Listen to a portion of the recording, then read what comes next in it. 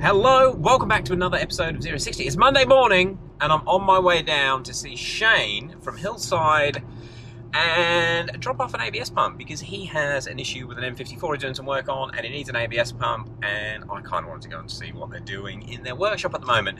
But it also gave me a good excuse to go and catch up with Bryce to see if we can work out why we couldn't get his F30 keys to work. So I did actually do a community post yesterday. Um, yeah, basically just trying to get my head around coding keys for the F series or FEM fitted cars, ones that come after the CAS modules. Um, it's just a nightmare, and I'm pretty confident I've narrowed it down to crappy Chinese keys, but we will see. Um, for now, we're on the road. We're about 20 minutes away from Shane and Gresham, so we'll uh, give you an update once we arrive there because they've normally got some cool stuff going on. Normally. Right. See you shortly.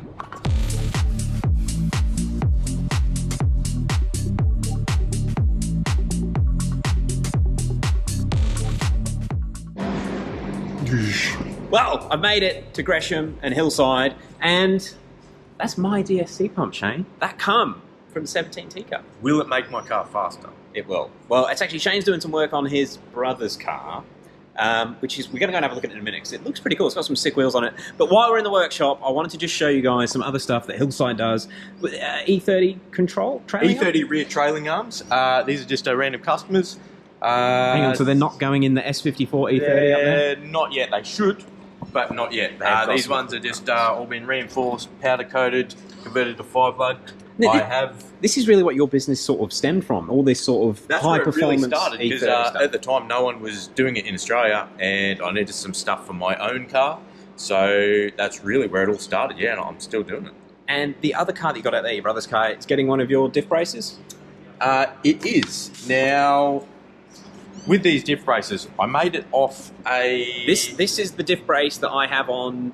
Well, I had on my car when I had the small case diff. And you got a whole batch made, didn't you? got a whole batch made, and there was an issue. The subframe I did it off was not an N54 car. Uh, I don't know if you remember my install video, but I had to drill an extra hole. Uh, not the end of the world, because Shane designed these with three holes anyway, which lined up on the subframe he had here, but they don't line up on an N54 subframe. Or not the because you fitted a couple. It look unless it was a weird. We don't know. Anyway, I don't know. he's got a sale on. So you've got six of these left. Four Six of of them. these left. Four of them are currently on cars. Yes. Scott's 19T car has one of these, by the way. It does. Um, but to clear the ones that involve drilling the subframe, you've got a deal for people that are local. Yeah, so if you drill a couple of holes, either in the brace or the subframe, uh, and you can come and grab it, uh, 125 bucks, and you got yourself a diff brace. That's pickup only. He's not going to post them out. You've got to be local. Um, hit me up a message if you can't make it. We'll sort something out. But can we go and have a look at that car? Let's do it. So this is it here, man. Did you what? Did you, what wheels are they? Ooh, now you got me style three, four, seven. Look at the Maybe not sure. concave. They're, they're 10 inches all round. So there's a, there's a bit of a weird story with this car. This is Shane's brother's car. Shane's known it for a few years. This is the first N54 that Shane played with, and you just fitted turbos to it. Just did fresh OEM turbos. Uh, no matter what I tried, I could not convince him otherwise. Everybody, give him shit below in the comments. He put stock turbos back on, but it does look cool, and it's going to go well. It's going to have a diff brace. He's MHD stage two. Stage one. Stage one. He's such a sensible N54 owner. Oh, it does look cool. Actually, Matt was telling me, is this the car that's got the N52? This is. So, Gresham and Hillside together, they're pairing with basically something that they do a lot of is engine swaps, mainly E30s, but they're moving into the 36 chassis. And they're trying to get sort of good BMW motors that have got sort of performance characteristics that don't cost an arm and a leg. And so this one, can you pop, can you pop the bonnet? Hang on, does it even have a, I can pop the bonnet. So this is getting an N52 swap. So this is out of a E82 135, no 130. 130. So it's the three litre N52, and the way that Matt's got it worked out, well, I think they've basically got it. They've got it mounted in there, and you've helped do that. But Matt is doing all of the computer work so that it will run in this chassis with no errors.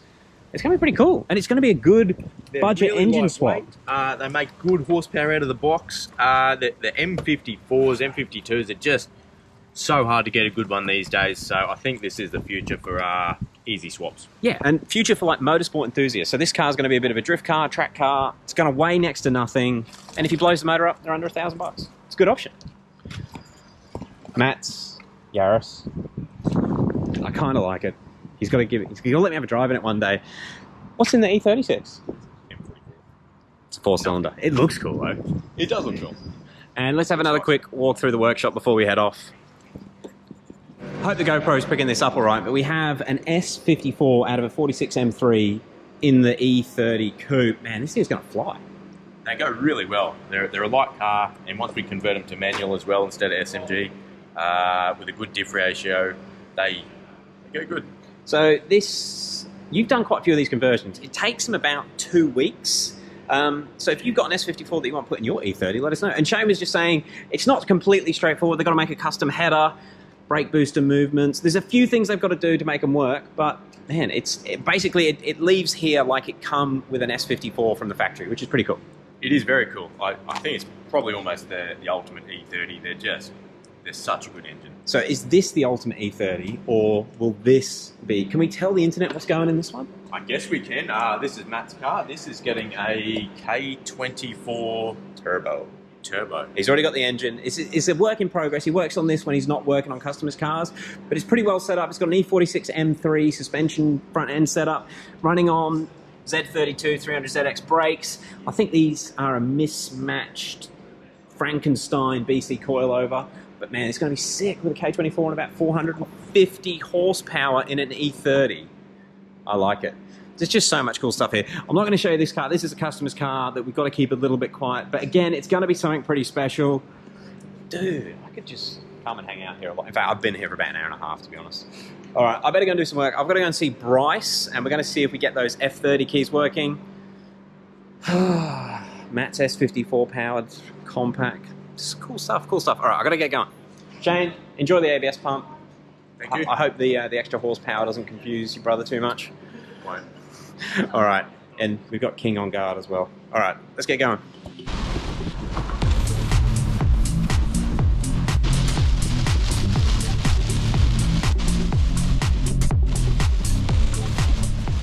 Well, I've made it over to Bryce's place. Um, Bryce actually lives in a high rise in the middle of Brisbane, and we are in the underground car park, and the lighting isn't the best, which is why I've got my phone light blaring at me right now. So basically, what happened on the weekend? We tried to, well, I tried to make keys for this car. Now we have managed to crack his FEM module, so I can actually write keys through OBD to his FEM pretty flawlessly. But the keys that I wrote, which we have here, they will start the car, but the buttons don't do anything.